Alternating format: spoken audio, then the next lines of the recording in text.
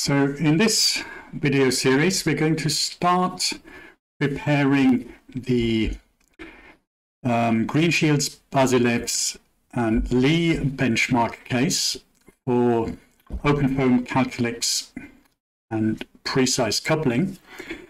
Um, I will assume that you have um, running working installation of OpenFOAM Calculix with the uh, preCICE library and preCICE adapters for those two codes. If not, please refer to the installation videos for those. I also assume that you have followed the create geometry and mesh with Salome videos and that you have the two UNV files for fluid and solid mesh respectively. We will build this case based on a tutorial case, which I would say is in general a good idea. So you don't want to set these cases up from scratch with the whole directory structure, but it's a good idea to copy a tutorial case and then replace mesh and boundary conditions and adjust the um, setup files.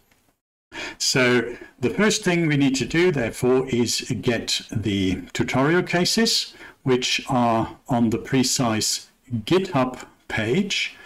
So when you click that, it should bring you to the GitHub page. And if you are a Git member of GitHub or if you have a GitHub account, you can download that using git clone, but you can also download the zip file and simply unpack the tutorials into your preCICE folder. So that will have created a directory with all the different um, preCICE tutorials in it. And we are going to use the elastic tube 3D tutorial.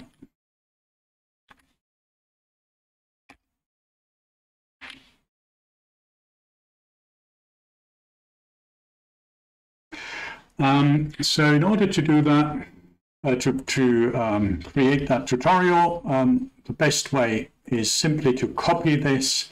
So you can obviously copy paste, which will create a copy and then rename that.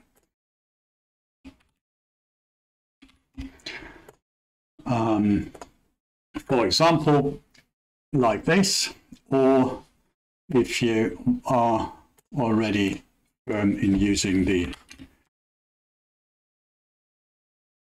command line, then it is copy minus R elastic tube 3D to Lee 2012. There we are. So we now have this case uh, prepared.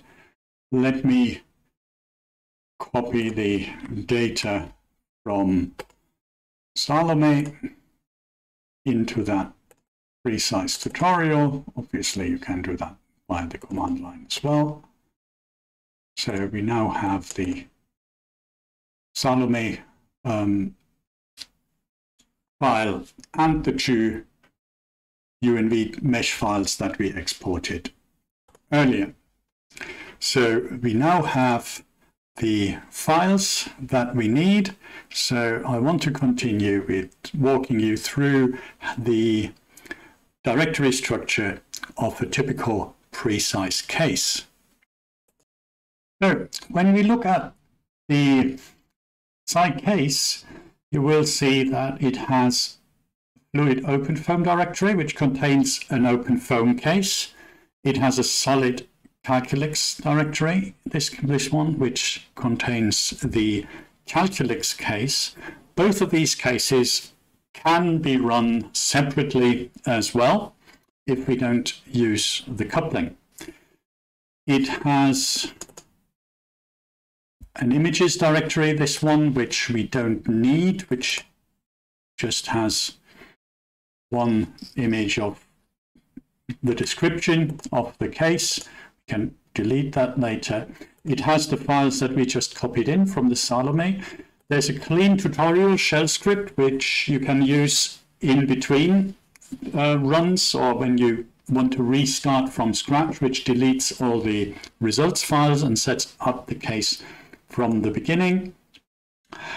It has a config file, which we'll look into later, and all of them come with a README file.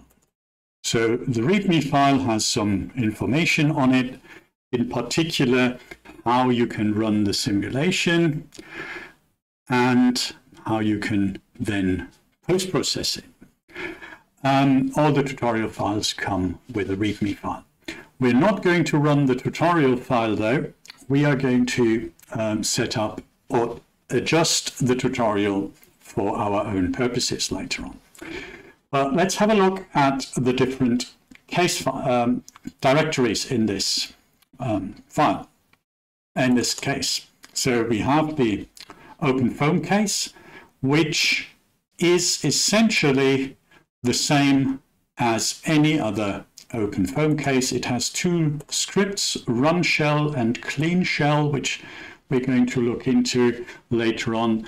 It has the system directory, which has the um, setup files in it.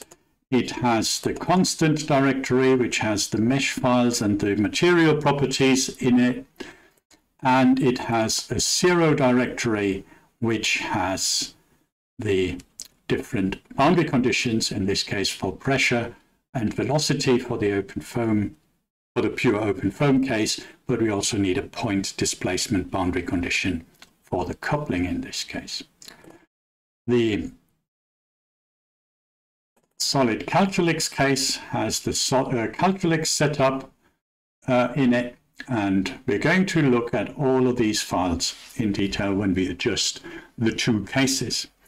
So what I want to do now is I basically want to copy these, the fluid file in here. So copy the fluid mesh into the fluid um, case, and I want to copy the solid mesh into the Calculix case.